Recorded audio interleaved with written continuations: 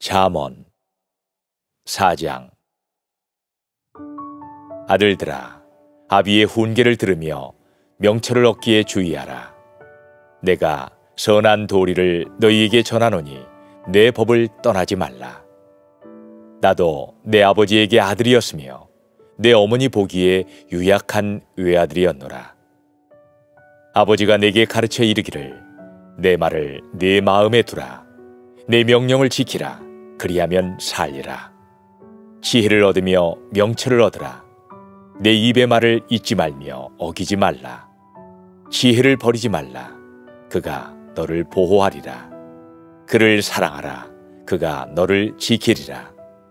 지혜가 제일이니 지혜를 얻으라. 내가 얻은 모든 것을 가지고 명철을 얻을지니라. 그를 높이라. 그리하면 그가 너를 높이 들리라 만일 그를 품으면 그가 너를 영화롭게 하리라. 그가 아름다운 관을 내 머리에 두겠고 영화로운 면류관을 내게 주리라 하셨느니라. 내 아들아 들으라. 내 말을 받으라. 그리하면 내 생명의 해가 길리라. 내가 지혜로운 길을 네게 가르쳤으며 정직한 길로 너를 인도하였은즉 다닐 때에 네 걸음이 곤고하지 아니하겠고 달려갈 때에 실족하지 아니하리라. 훈계를 굳게 잡아 놓치지 말고 지키라. 이것이 내 생명이니라. 사악한 자의 길에 들어가지 말며 악인의 길로 다니지 말지어다. 그의 길을 피하고 지나가지 말며 돌이켜 떠나갈지어다. 그들은 악을 행하지 못하면 자지 못하며 사람을 넘어뜨리지 못하면 잠이 오지 아니하며 불의의 떡을 먹으며 강포의 술을 마심이니라.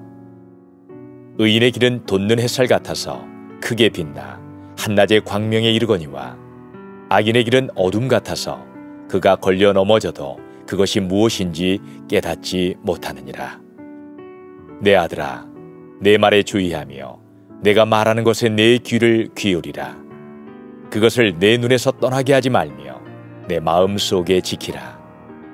그것은 얻는 자에게 생명이 되며 그의 온 육체에 건강이 됨이니라. 모든 지킬 만한 것 중에 더욱 내 마음을 지키라. 생명의 근원이 이에서 남이니라. 구부러진 말을 내 입에서 버리며 비뚤어진 말을 내 입술에서 멀리하라.